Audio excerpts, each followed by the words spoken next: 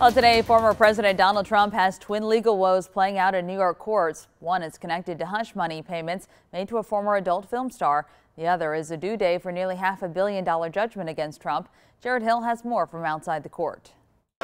Former President Donald Trump appeared in New York County Criminal Court Monday morning in connection to hush money payments made to former adult film star Stormy Daniels. This is a witch hunt, it's a hoax. Trump has pleaded not guilty to 34 counts of falsifying business records as part of a cover up scheme for payments to Daniels and others.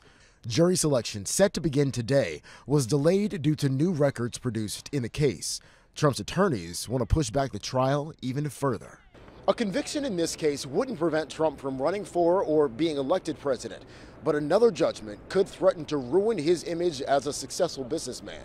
Today was due day for a nearly half a billion dollar bond covering a civil judgment that found Trump inflated the value of his properties and his net worth in order to secure favorable loans. But this morning, an appeals court judge granted a stay, giving Trump 10 days to pay a reduced bond of 175 million. The Attorney General had said she was ready to act if bond wasn't posted. We will ask the judge to seize his assets.